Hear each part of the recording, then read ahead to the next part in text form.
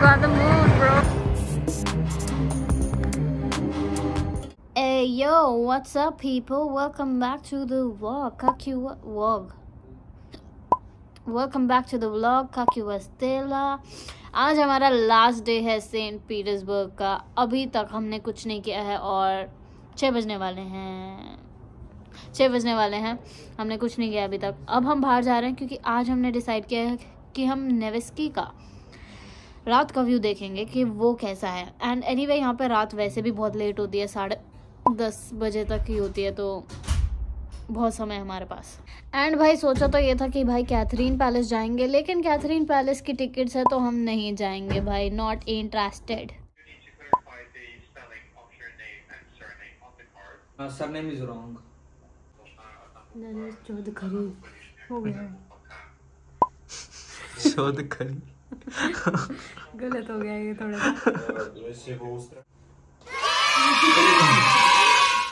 तो बेसिकली ये चौधरी वाला कार्ड चल जाएगा कोई प्रॉब्लम की बात नहीं है। बस इसको ऑनलाइन अब एंटर करते हुए चौधरी लिखना है। अब नया नाम है इसका। पीछे तो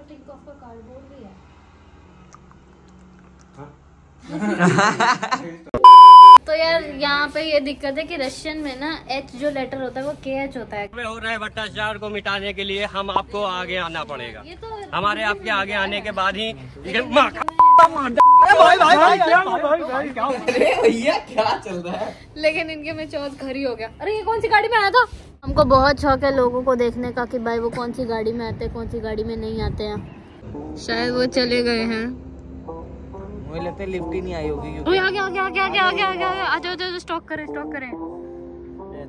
पैदल ही। आए हैं शायद। नहीं है इनके पास गाड़ी। अभी तक फ़िलहाल ये चल के ही आए थे।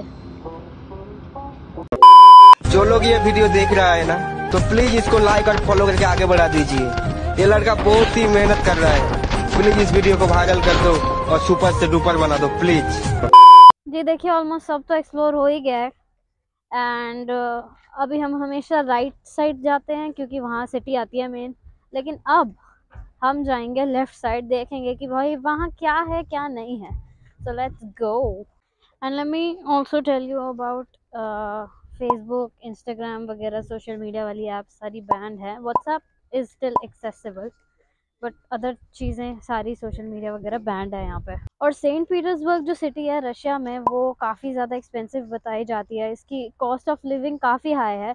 लेकिन रशिया की जो एनुअल एवरेज सैलरी है 2023 में, वो है बारह लाख चालीस हज़ार की। पर यहाँ की कॉस्ट ऑफ़ लिविंग हाई है सैलरी के हिसाब से बिकॉज़ यहाँ की अकोमोडेशन की बात करूँ फ़ूड ग्रोसरी की बात करूँ ट्रांसपोर्ट की बात करूँ तो महीने का पचास हज़ार तो आराम से हो ही जाता होगा। बट इट ऑल्सो डिपेंड्स तुम्हारी लोकेशन पे, तुम्हारी नीड्स पे, तुम्हारी प्रेफरेंसेस पे। शायद हो सकता है कि कम में भी हो जाए काम। So now we are going that side क्योंकि उस साइड तो हम बहुत जा चुके हैं। अब बारी है भाई इस साइड जाने की। ट्रेन में तो बैठ गए ओ बस में तो बैठ गए हैं और सबसे एंड तक वाले स्टेशन पे जाके देखेंगे कि भाई सीन क्या है। वेल well, बस से व्यू तो काफ़ी तगड़ा था और फ्री का व्यू किसे नहीं पसंद और हर जगह से नेवर एवर दिख रही थी and it was worth it तो लास्ट स्टॉप पे हम आ चुके हैं और बस चल के बैठते हैं। बस घूम चुकी है। तो बेसिकली हम लास्ट स्टॉप पे आ गए थे और बस वाले ने यू टर्न मार लिया और पीछे की तरफ़ वापस जा रहा है। सब उतर गए थे और हम उधर ही बैठे हैं ट्वीटो की तरफ़। सो एनी anyway, अब मैं बात करूँ वीज़ा की तो वैसे तो इलेक्ट्रॉनिक वीज़ा चालू हो चुका है लेकिन हमने फ़िज़िकल फॉर्म में वीज़ा लगवाया था और हम खुद गए थे जाके हमने डॉक्यूमेंट्स सबमिट किए थे। डॉक्यूमेंट्स में ज़्यादा कुछ रिक्वायर्ड नहीं होता है आपको। Invitation letter passport accommodation flight tickets and flight tickets भी नेसेसरी नहीं है। हमने तो लेटर लिख के दे दिया था कि हम फ़्लाइट टिकट्स तभी करवाएँगे जब वीज़ा आ जाएगा। So you can do that and cost इसकी अराउंड एक बंदे की आठ से नौ हज़ार के बीच रहती है। And visa within one week में आ जाता है तो it's pretty easy to apply और अगर आप पहली बार ही ट्रैवल कर रहे हो, तब भी अप्लाई कर सकते हो। भाई, आराम से वीज़ा आ जाता है, भाई। हम अपने यूजुअल स्टॉप पे उतर गए हैं, जहाँ से हम अब मेट्रो के लिए चेंज करते हैं। But anyway now let's talk about flights flights की अगर मैं बात करूँ तो डायरेक्ट फ़्लाइट जो है, वो ज़्यादा एक्सपेंसिव है ऑब्वियसली लेकिन आप Delhi to Dubai to Moscow भी आ सकते हो मतलब वाया दुबई भी आ सकते हो। वो ज़्यादा सस्ती पड़ेगी, लेकिन आपको ट्रांजिट वीज़ा लेना होगा। हमने डायरेक्ट फ़्लाइट कराई है बट अदरवाइज़ ये ऑप्शन भी है। हाँ तो अकोमोडेशन की बात करूँ तो एयर बी एन बी या बुकिंग डॉट कॉम सैंक्शन है तो नहीं चलने वाला है, ठीक है? लेकिन आप ओस्त्रोवो या सुचोतनो से बुक करा सकते हो। और ये वाला ब्रिज भी भाई ओपन होता है। और जैसी ट्राम आती है ना भाई, पूरा हिल जाता है भाई ब्रिज तो। और यहाँ का व्यू बहुत तगड़ा है यार, बहुत तगड़ा है। और ये जो नेवा रिवर है, वो हर जगह से आपको दिख जाएगी भाई, पूरे सेंट पीटर्सबर्ग में। ये देखो भाई,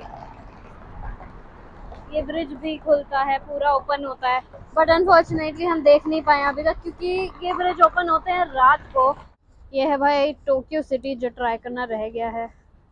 और एक चीज़ रहती है भाई जहाँ भी चले जाओ हर जगह रशियन में लिखा तो भाई ट्रांसलेट करते करते समय निकल समय निकल जाता है रात हो जाती है फिर रात को सुबह हो जाती है रात रात ही हो रही है ये बहन आठ बज रहे हैं। हाँ। अब वो टोक्यो सिटी का कार्ड ले रहा है बेसिकली we can uh, ये है Maxim uh, data uh, from your old card and uh, two new cards.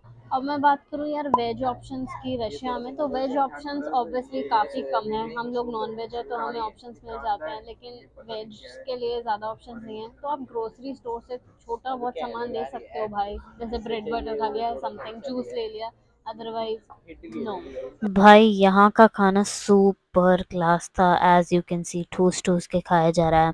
I give this ten out of ten DNS का फ़ूड तो भाई बहुत ही बढ़िया था भाई मज़ा आ गया खा के। आपको डीएनएस कौन सा खाना सॉरी कहाँ गए थे हम? टोक्यो सिटी डीएनएस तो इलेक्ट्रॉनिक शॉप है वो अभी हम जा रहे हैं। टोक्यो सिटी का खाना बहुत बढ़िया था। बहुत बढ़िया। बहुत बढ़िया। टॉप क्लास एकदम फुल टूस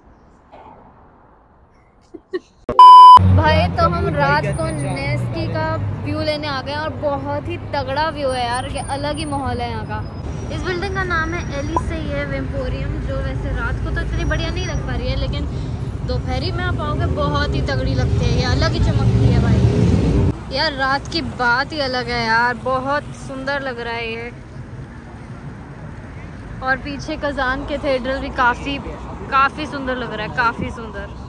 भाई ऐसा लग ही नहीं रहा है कि रात के भाई 11 बज रहे हैं। इतनी हैपनिंग स्ट्रीट है ना ये बहुत ही भरे बड़े हैं लोग मतलब यहाँ पे।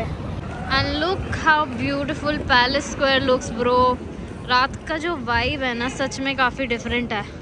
तो पैलेस स्क्वायर बहुत खूबसूरत तो लग ही रहा था और वहाँ काफ़ी भीड़ भी थी एंड वहाँ पे काफ़ी शोज़ भी हो रहे थे आसपास एंड लोग तो अपने पिकनिक्स बनाने आए हुए थे वहाँ पे अपना चद्दर वद्दर लेके सब।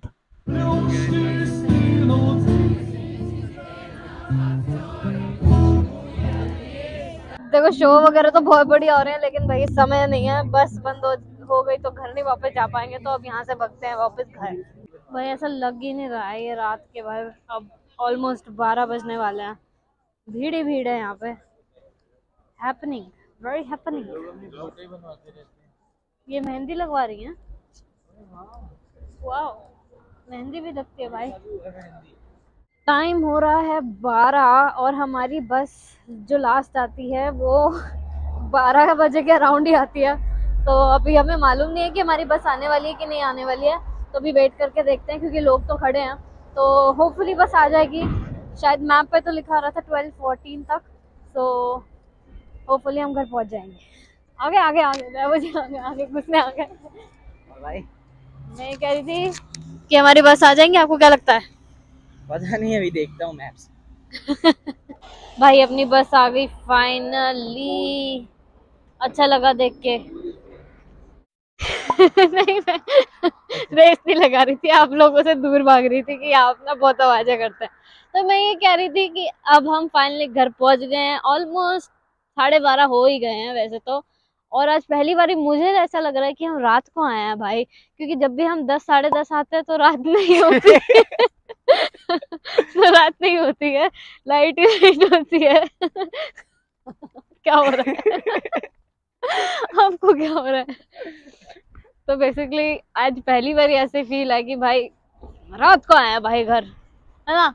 सो so, अब हम घर पहुँच गए हैं तो आज का व्लॉग यहीं ख़त्म करते हैं। मिलते हैं कल और कल हम जा रहे हैं Moscow so let's see how Moscow treats us so bye bye take care